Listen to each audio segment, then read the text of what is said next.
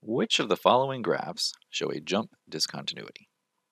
So a jump discontinuity, what happens there is we have the limit as x approaches some particular value from the left of a function is not equal to the limit as x approaches that value from the right of that function.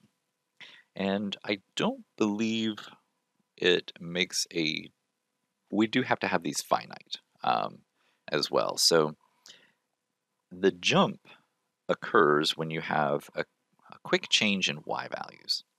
So for instance, this particular graph, here's a value we'll call x equals a.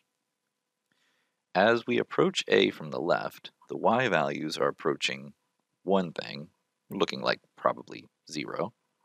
From the right-hand side, these y values are approaching something else. Maybe 1, who knows? There's no scale to say. But regardless, they're not equal. So the limit from the left and the limit from the right are not equal, but they are finite, so you have this gap in between and that's what we call a jump. So this particular graph does have a uh, jump. In the next one, we don't have a jump, but rather an asymptote. Is, these are going to positive infinity on both the left and the right-hand side. Um, and so because they're not finite, we uh, that's not technically a jump.